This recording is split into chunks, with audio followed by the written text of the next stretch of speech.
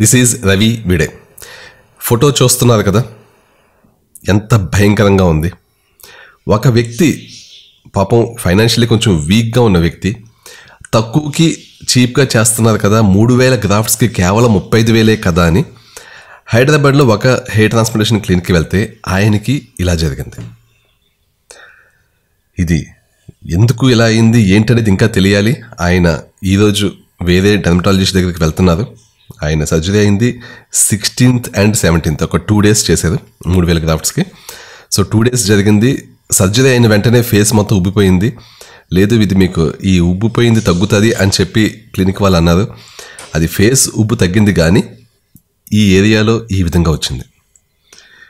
ఇది ఎందుకు ఇలా వచ్చింది అనేది నేను వేరే డాక్టర్స్ని కాంటాక్ట్ చేశాను. అసలు ఎందుకు ఇలా వచ్చి ఉంటుందని.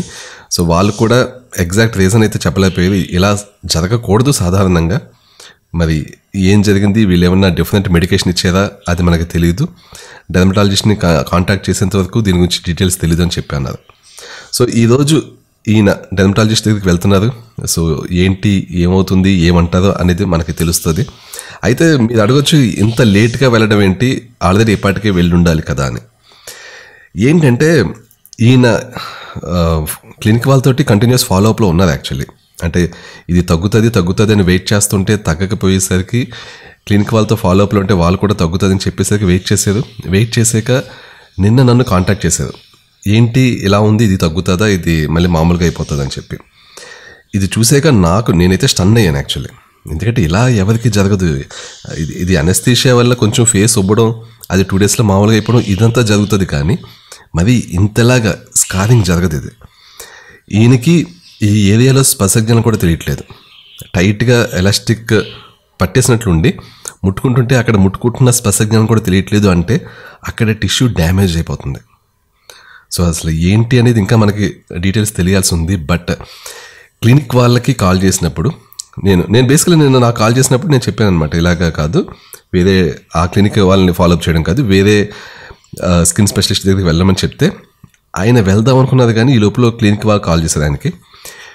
క్లినిక్ వాళ్ళు కాల్ చేసి మీరు వేరే స్కిన్ స్పెషలిస్ట్ దగ్గరికి వెళితే అక్కడ వాళ్ళు మీకు వేరే ఆయింట్మెంట్స్ ఏమైనా రాసినా వేరే మెడికేషన్స్ ఏమైనా ఇచ్చినా అది మీకు ఇంకా సీరియస్ అవుతుంది అప్పుడు మా పూచి కాదు అన్నట్లు చెప్పేదంట.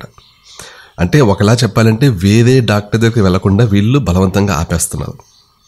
ఎందుకని?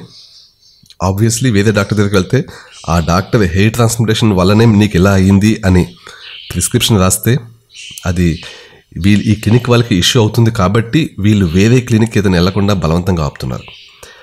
నిన్న అలా అయింది సో నిన్న అతను వెళ్ళలేదు వేరే క్లినిక్కి ఈరోజు మార్నింగ్ మళ్ళీ అంటే ఈరోజు నేను మార్నింగ్ మళ్ళీ కాల్ చేసి ఒకసారి వేరే క్లినిక్కి వెళ్ళమని నేను చెప్పాను మళ్ళీ ఇంకోసారి. ఎందుకంటే ఇది తగ్గట్లేదు. తగ్గకుండా అసలు తగ్గి ఛాయలు కూడా కనిపించకుండా రోజు రోజు ఇలాగా సీరియస్ అవుతుంటే డెఫినెట్లీ వెళ్ళాలి కాబట్టి వేరే క్లినిక్కి వెళ్ళమని చెప్పాను నేను. సో ఈరోజు మళ్ళీ ఆ హాస్పిటల్ వాళ్ళు ఈయనకి కాల్ చేశారు. కాల్ చేస్తే ప్లస్ నేను ఇంకో విషయం కూడా చెప్పాను. ఏదన్నా సరే కాల్ కాల్ చేసినప్పుడు మాట్లాడినప్పుడు కాల్ రికార్డింగ్స్ మీ దగ్గర ఉంచుకోండి అని చెప్పాను. ఆయన ఇప్పుడు దాకా ఆయన కాల్స్కి వేటికి రికార్డింగ్స్ పెట్టుకోలేదు. ఈరోజు ఆయన కాల్ రికార్డింగ్ చేసి నాకు పంపించారు.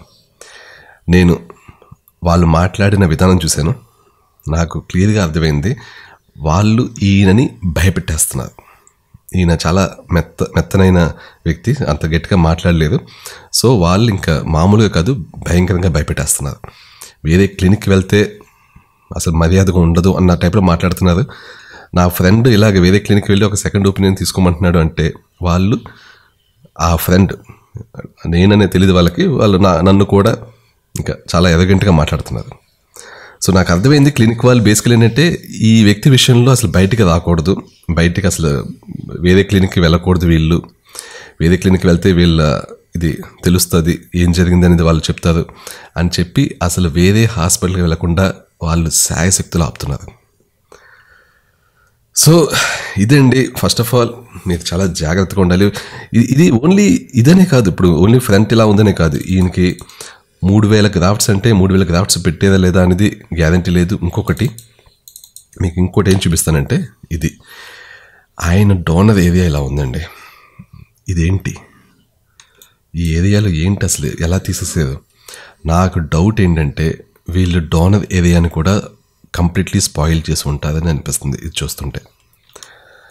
ఇప్పుడు నేను ఈ వీడియో చేస్తుంది ఈ పర్టికులర్ ఈ క్లినిక్ని నెగిటివ్ చేయడానికని కాదు. అసలు నేను ఆ క్లినిక్ పేరు కూడా నేను మీకు చెప్పట్లేదు. నేను నేను చెప్ చెప్దాం అనుకుంటుంది ఏంటంటే మీరు తక్కువకు చేస్తున్నారు కదా అని చెప్పి వెళ్ళి ఇలాంటి పిచ్చి పిచ్చి పిచ్చి పిచ్చి క్లినిక్స్కి వెళ్ళి మీ డోనర్ ఏరియాని పాడు చేసుకోవద్దు మీ అంటే ఎలా అవుతుంది అంటే మీరు ఇంకా లైఫ్ లాంగ్ మళ్ళీ ఫిక్స్ చేయలేని సిచ్యువేషన్ వచ్చేస్తుంది. ఇక్కడ ఇక్కడ వీళ్ళు డోనర్ ఏరియా మొత్తం పాడు చేసేది అనుకుందాం. డోనర్ ఏరియా పాడు చేస్తే ఇంకా మళ్ళీ తర్వాత ఫ్యూచర్లో మీకు డోనర్ కావాలంటే ఎక్కడి నుంచి వస్తుంది? రాదు. మీకు రిపేర్ చేయాలంటే ఎక్కడి నుంచి వస్తుంది? రాదు. ఇక్కడ చూస్తే నాకు మూడు వేల గ్రాఫ్ట్స్ కోసం మొత్తం అంతా నాశనం చేసినట్టు అనిపిస్తుంది నాకు ఇది అండ్ అండ్ ఇది ఇప్పుడు ఈ- ఈ ఫొటోస్ క్లియర్గా లేవు కాబట్టి తెలియదు అసలు ఏ యాంగిల్లో వాళ్ళు ట్రాన్స్పోర్టేషన్ చేసేది కరెక్ట్గా యూనో కరెక్ట్గా ఇన్సెషన్స్ చేసేదా లేదా? అసలు ఏంటి అనేది ఇంకా ఏమీ తెలియట్లేదు. ఇది ఇంకా క్లియర్ పిక్చర్స్ ఆయన అడుగుతాను నేను తర్వాత పంపించమని. బట్ ఇంకా నేను ఫాలో అప్ చేస్తాను. బట్ ఇదైతే డెఫినెట్లీ ఒక వరస్ట్ హెయిర్ ట్రాన్స్ప్లాంటేషన్ అండి. దయచేసి చాలా చాలా జాగ్రత్తగా ఉండండి. ఇంకొక విషయం ఏంటంటే ఈయన ఆ క్లినిక్ వెళ్ళినప్పుడు ఆ క్లినిక్ వాళ్ళు అంతకుముందు చేసిన ఒక్క హెయిర్ ట్రాన్స్ప్లాంటేషన్కి సంబంధించిన ఫొటోస్ కానీ ప్రీ అండ్ పోస్ట్ రిజల్ట్స్ కానీ ఏది ఆయన చూడలేదు. అది అది చాలా ఇంపార్టెంట్ అండి. ముందు అసలు ఆ క్లినిక్ వాళ్ళు చేసిన అంతకుముందు సర్జరీస్ ఏంటి వాటి రిజల్ట్స్ ఎలా వచ్చినాయి ఇవన్నీ చూడకుండా అసలు ఏ క్లినిక్కి కూడా వెళ్ళొద్దు. చాలా చాలా జాగ్రత్తగా ఉండండి. ఈయన ఈయన ఏంటంటే ఫైనాన్షియల్లీ కొంచెం వీక్ అవ్వడం వల్ల థర్టీ ఫైవ్ థౌజండ్కి ఇలాగ హెయిర్ మొత్తం వస్తుంది నాకు మ్యారేజ్ అవుతుంది అన్న ఉద్దేశంతో ఆయనకి. ఇంకా మ్యారేజ్ అవ్వలేదు బట్టతలు ఉంది. చాలామంది గుండి సమస్య ఇదే మ్యారేజ్ అవ్వాలి అంటే బట్టతలు ఉంటే అవ్వదని చెప్పి హెయిర్ ట్రాన్స్ప్లాంటేషన్ చేయించుకుంటారు. ఇప్పుడు ఇప్పుడు ఈయనకి హెయిర్ వస్తుందా రాదా? అసలు ఎలా వస్తుంది? ఈ మచ్చ ఉంటుందా పోతుందా? ఈ మచ్చ ఇలా పర్మనెంట్గా ఉంటే ఏంటి? అంత అంత ఒక అయోమయం సిచ్యువేషన్ అండి. పెళ్ళి సంగతి తర్వాత జుట్టు సంగతి తర్వాత ఇప్పుడు ఈ కొత్త ఇష్యూస్ తోటి ఇప్పుడు ఈయన డీల్ చేయాలి. సో ఎనీవే మీరు అడగొచ్చు నన్ను ఎందుకు నేను క్లినిక్ డీటెయిల్స్ మెన్షన్ చేయట్లేదు అని. మెన్షన్ చేస్తాను అండి. కొంచెం ఇంకా తెలుసుకోవాల్సిన విషయాలు చాలా ఉన్నాయి. కన్ఫర్మ్గా కంప్లీట్లీ అన్నీ తెలిసాక ఈ క్లినిక్ వల్ల ఇలాగ డ్యామేజ్ అయింది అని ఇతని దగ్గర ప్రూఫ్స్ అన్నీ దొరికాక ఇప్పుడు మన దగ్గర ప్రూఫ్ ఉంది బట్ ఏంటంటే వేరే క్లినిక్ వాళ్ళు ఇది కన్ఫర్మ్ చేసాక మన దగ్గర సాలిడ్ ప్రూఫ్ ఉన్నాక అప్పుడు ఆ క్లినిక్ నేమ్ అది మెన్షన్ చేస్తే అప్పుడు అది- అది కరెక్ట్గా ఉంటుంది. ఎనీవే అప్పటి వరకు మీరు కొంచెం ఇలాంటి విషయాల్లో జాగ్రత్తగా ఉండండి. కంగారు పడి పిచ్చి పిచ్చి క్లినిక్స్కి వెళ్ళి లైఫ్ టైం మిస్టేక్స్ చేయకండి. Anyway thank you so much I will catch you soon bye